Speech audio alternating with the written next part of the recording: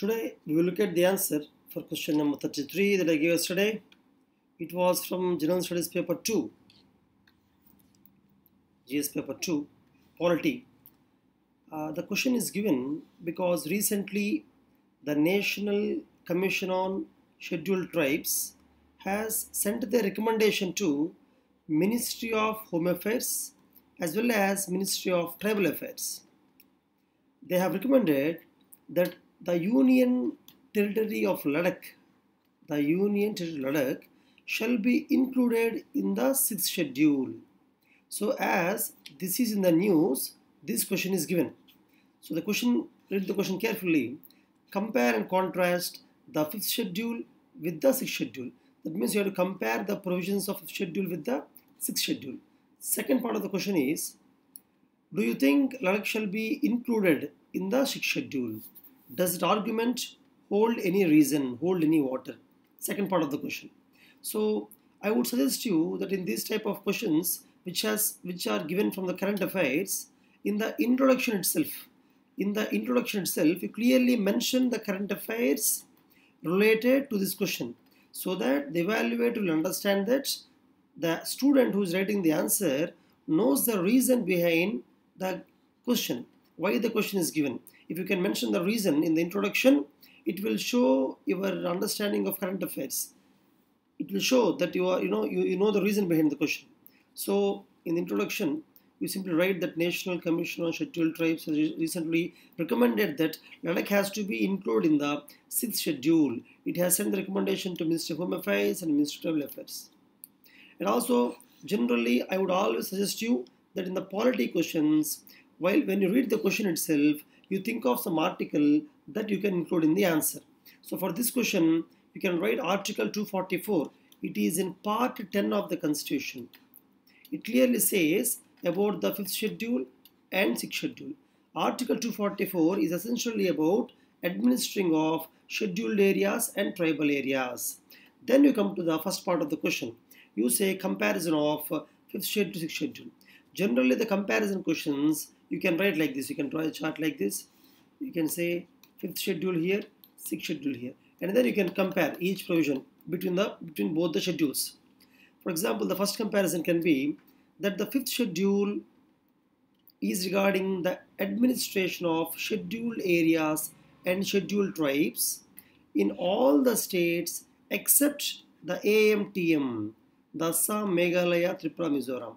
Except these four states, all the other states, uh, the fifth schedule applicable. Particularly at present, the fifth schedule areas are there in around 10 states of India. In 10 states of India, schedule areas are there. I mean, the fifth schedule is there. Now, sixth schedule is administration of tribal areas. Administration of tribal areas, particularly in the AMTM states, Assam, Meghalaya, Tripura, Mizoram states.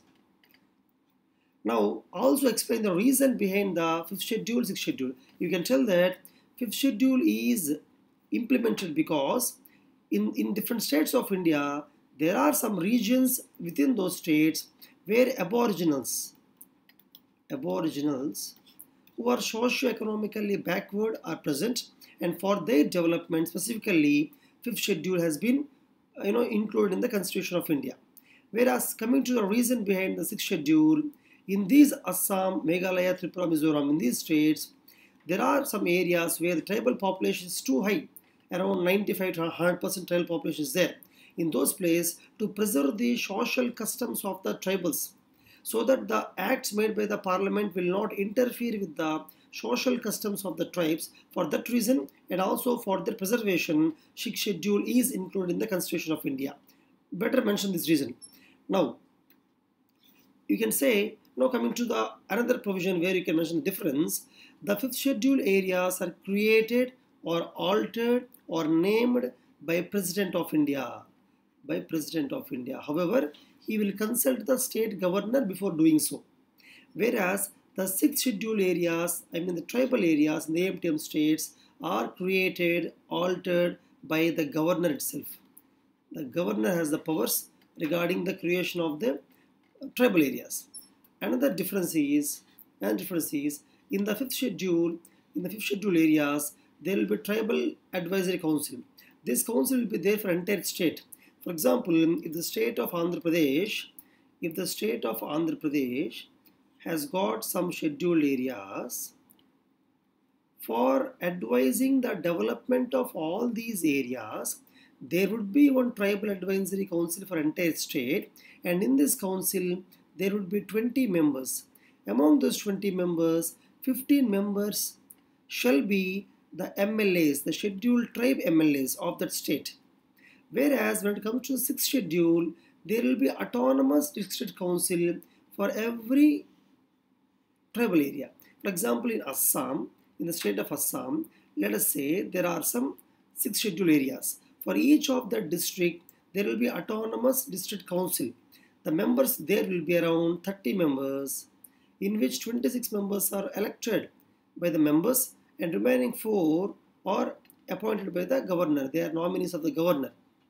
Now coming to the powers, the advisory, I mean the autonomous district council has the powers to make the laws. They can actually make the laws, acts regarding the social customs like divorce, like marriage, like the you know property rights, the land rights, the forest rights. They can make the laws.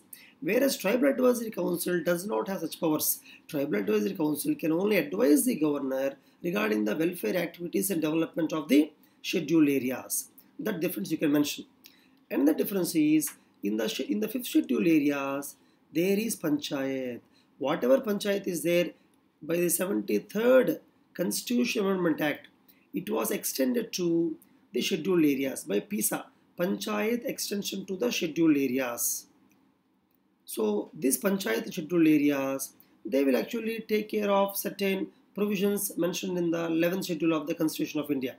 Whereas autonomous district councils, as I told you earlier, have higher powers than the panchayats in the fifth schedule areas. And the difference that you can mention is, for example, here actually particularly can write regarding the financial powers, the budget. For example, autonomous district council has the financial powers. They can actually collect the tax. Thus, they can get the revenue, and that revenue they can spend for the development of their district, autonomous district. Whereas panchayat extension areas, whereas the Gram Sabha in the scheduled areas can provide the utilization certificate to the panchayat based on which the funds will be released. In that way, the financial powers of these two can be compared. Another and the last comparison is the various acts made by the parliament or various acts made by the state legislature will not be directly applicable for any of these areas. For example, for the fifth schedule areas, governor, the governor of the state can mention, can direct whether an act made by either center or state, whether an act is applicable for the scheduled area or not. He can even modify the act, governor. Whereas sixth schedule areas, sixth schedule areas in Assam, in Assam, it is the governor.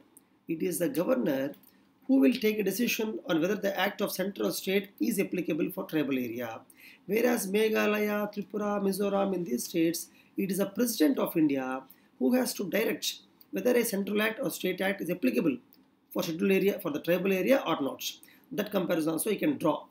Now, coming to the second part of the question, whether we have to include the union territory of Ladakh in the schedule or not. Is this argument accepted or not?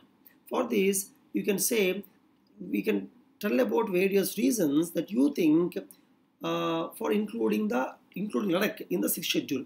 For example, you can say that Ladakh has got almost 97% of tribal population. For example, you know, uh, the Mon tribes, the Changpa tribes, Changpa tribes, the Boat tribes, Boto tribes. There are several tribes, different type of tribes are there in Ladakh. So because of the huge tribal population, it is logical to include them in the sixth schedule. Another thing is, by including in the sixth schedule, you can stop the influx of various businessmen.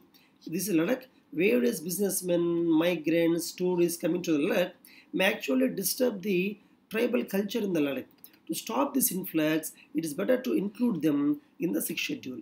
And the reason you can say is that actually Ladakh previously was a part of Jammu and Kashmir, and Kashmir has certain unique land rights and agrarian rights by which people from other states cannot purchase any land in the Kashmir.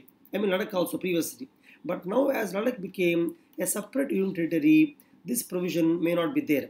Hence, it is better to include them in the schedule so that those provisions will be continued.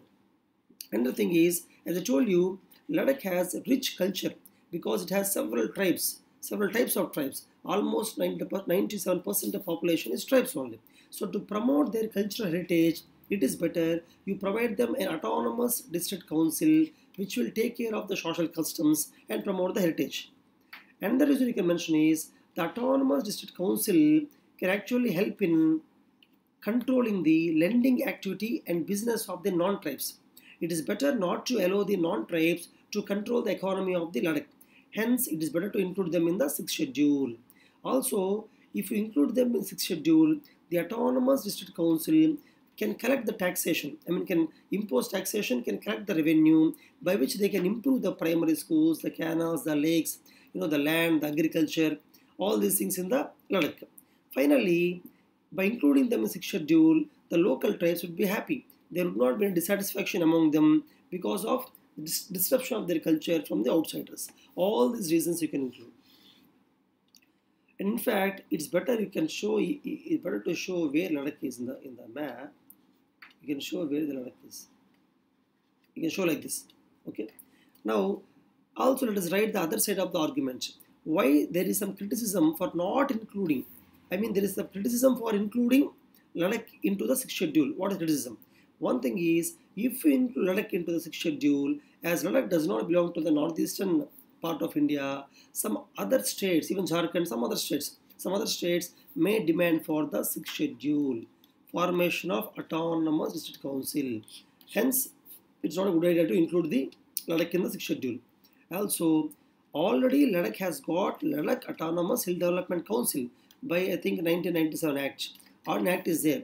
So according to this council, already they have some independent power similar to the autonomous council. Hence, there is no reason to include them in the schedule.